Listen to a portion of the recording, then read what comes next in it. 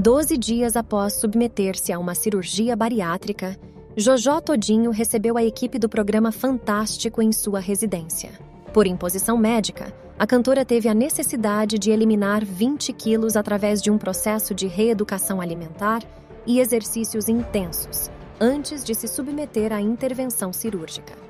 A decisão de realizar o procedimento foi motivada por diversas razões, incluindo sua participação no programa Dança dos Famosos no ano anterior.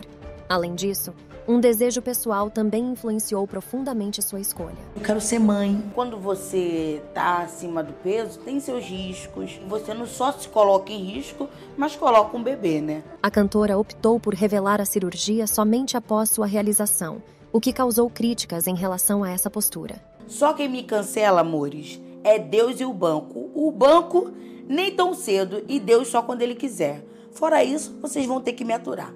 Butterfly. Tô tirando, dissolvendo uma capa que não vai fazer mais parte do meu futuro. Capa de gordura. Ah, eu quero pular de paraquedas. Eu quero ir pro tobogã sem saber nadar. Eu vou ficar mais ousada. Entender que a Jojo que eu fui no passado é um corpo. A Jojo que eu sou agora é esse corpo. Se inscreva no canal e ative o sininho. E fique por dentro de tudo que acontece no mundo dos famosos.